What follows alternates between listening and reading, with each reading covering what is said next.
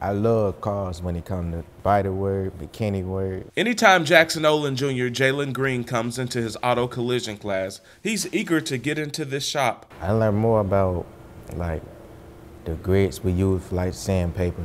If you want to do like get it to like the bare metal. Student Stephen Benson has been in the class for two months as well. It's so much I learned. I learned about sanding, how to get rid of dents in the cars. Sanding, what is that like? Sanding, it's like you got to go around dents so to see what a dent actually is. Like here, as instance, you have to sand around this area to find out how big and where's the dent located. Here, Jalen and Steven are using prime wash to remove wax and grease before they prime and paint this truck. The jobs that we're preparing our students for is, is actually we're hoping to create a portal from the school directly into the industry.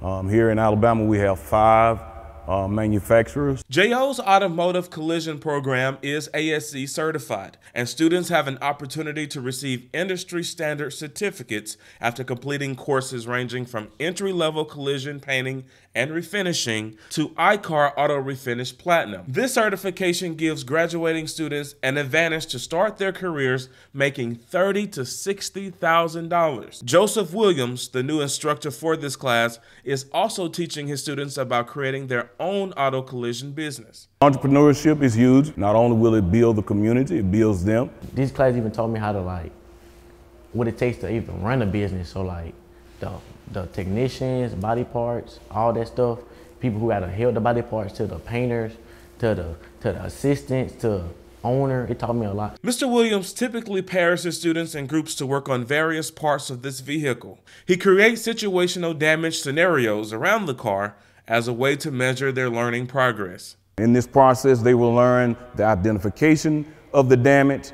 They'll be able to repair it with body filler and also take it through the entirety, which is final prep and paint and finish. Jackson Olin's auto collision class has been recognized by the Universal Technical Institute based in Arizona for providing students with an excellent source of knowledge and skills. UTI informed JO that its collision program meets the requirement for the Technical Education Instructional Grant, which will be used to help the Mustangs achieve their career goals. I'm Fred Davenport with BCS Media.